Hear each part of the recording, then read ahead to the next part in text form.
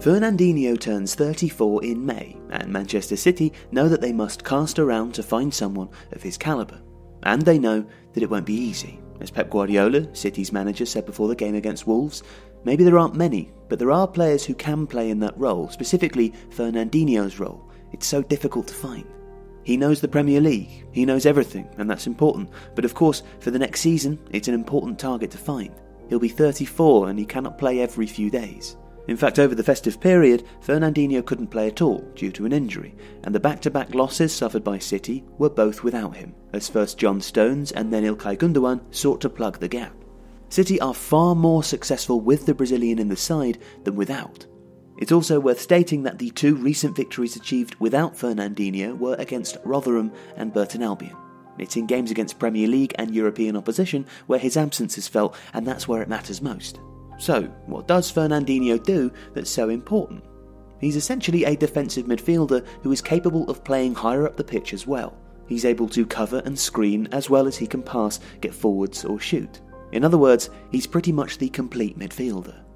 In City's 4 3 3, he's the linchpin, sitting behind the two aggressively attacking central midfielders who split high and wide to overload the wider areas of the pitch with the wingers and fullbacks, safe in the knowledge that the athletically gifted and tactically intelligent Fernandinho will plug the gaps left. As City attack and cluster players out wide, with the central midfielders pushing into the half spaces, Fernandinho will also find space in which to push up, or take possession and switch the play, or pass forwards to runners. Should City lose possession, he's able to shuttle across and cover the gaps, using his superb reading of the game and his pace, as well as his ability to work with the centre backs to thwart counter-attacks.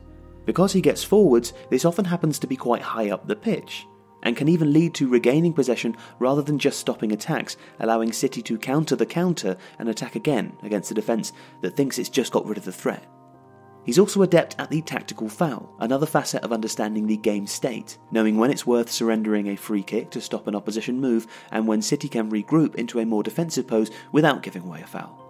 His positional sense means he can drift into spaces during the build up from deep and then carry the ball, launch a long or wide vertical pass, or rotate it back to the centre backs or fullbacks to ensure City keep possession. In this, his passing range is important, but perhaps more so, his ability to judge when and how to pass is the key. Fernandinho's combination of defensive nous, ball winning ability, creative passing, and dynamic running is obviously extremely hard to replicate.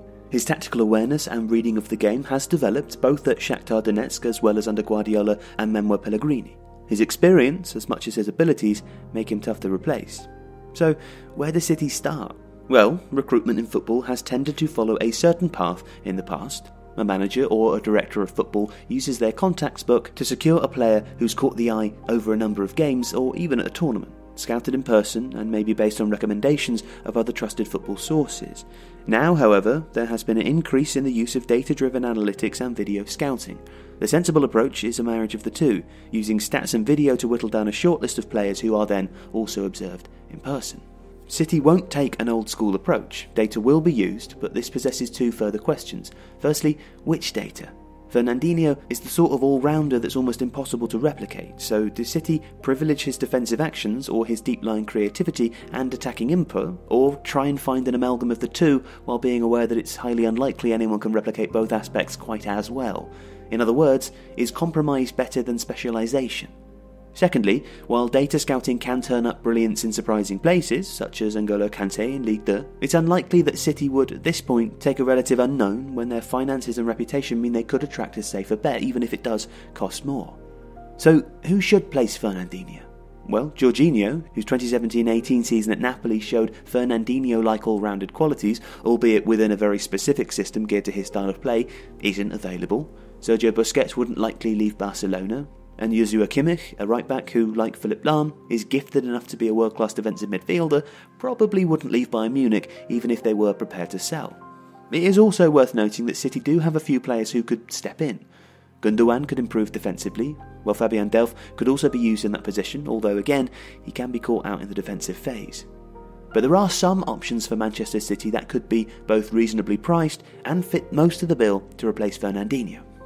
The first is Miralem Pjanic, Now, Pjanic is as good or better than Fernandinho creatively from the deep position, but doesn't contribute as much defensively and could command a hefty price tag compared with other suggestions, especially as Juventus are in a strong position and wouldn't need to sell.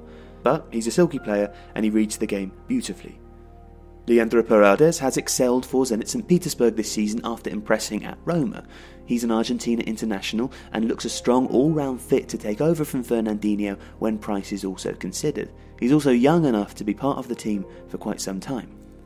Roberto Gagliardini has not played much for Inter this season, but has a strong defensive game, carries the ball well, and presses well, while also contributing creativity from midfield and comfortable in a 4 3 3.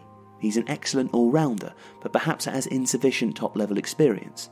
Marcelo Brozovic, also Inter, would be a possible fit too, but is likely to cost significantly more.